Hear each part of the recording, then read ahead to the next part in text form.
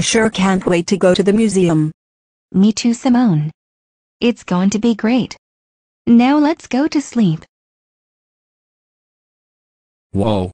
That was the scariest thing I'd ever done. I will not go in Big Ben ever again. But now I'm bored. What should I do now in London? Oh. I have an idea. I will kidnap somebody and track them on the London Eye. Ha ha ha ha ha ha ha ha ha ha ha. I will go do it right now. We are ready to go to the museum. Yes, we are.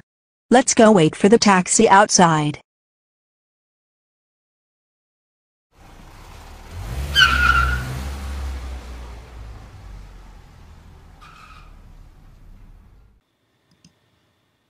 Okay, this is the stop to the Museum of London. You two can get out now. Thank you, sir. Yeah.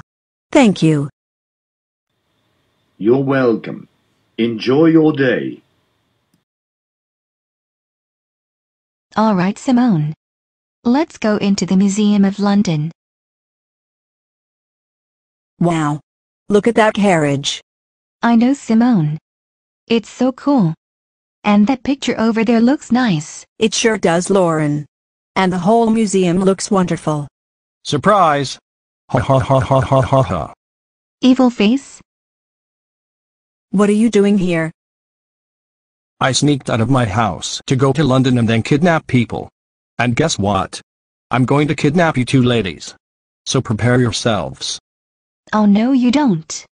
You're not going to kidnap us again like you did at Disneyland. I agree with Lauren. You're so bad. Oh shut up and come with me. No, no, no, no, no, no, no, no.